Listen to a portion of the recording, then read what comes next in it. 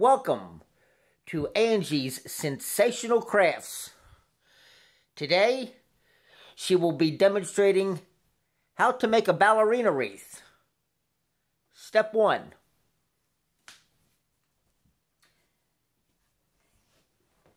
Good morning, everyone. I'll be working on a uh, ballerina wreath um, for a customer.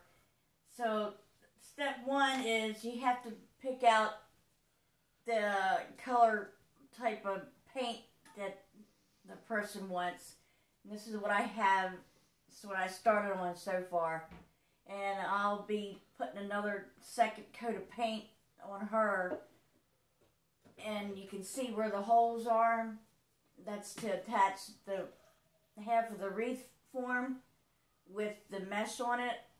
And then you can add like a little necklace or earring, bracelet, or whatever. Um, and here's the back. so you can either use this side or this side, it doesn't matter.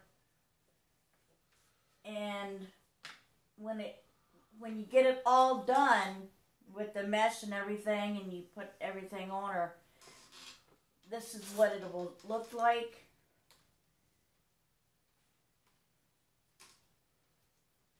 Because it the form comes with the ballerina shoes and the um in the top and here's the back so it doesn't scratch your door.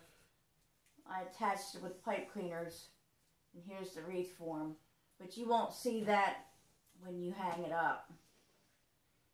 And then I just painted a little bit for her eyelash black and then like little embellishments here and here and here.